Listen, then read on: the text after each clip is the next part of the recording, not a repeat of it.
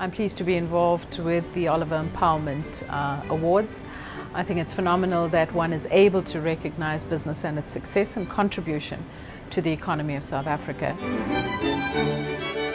One of the categories that we had to nominate was probably one of the most difficult because we had to look for the Black Best Entrepreneur of the Year. It's very important for us to ensure that uh, empowerment uh, is well espoused.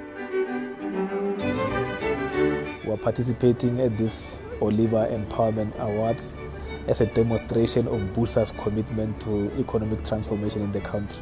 I look after uh, the investment book, which totals plus minus 2.5 billion rand, and our core objective is to grow black businesses in the country through uh, the businesses that we fund.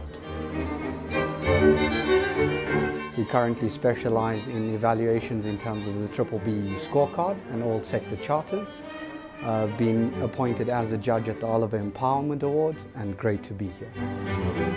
I am very pleased to say I'm impressed with the caliber of entrepreneurs because they are really growing South Africa and creating jobs out there. The companies we've looked at today have been all phenomenal in their own rights.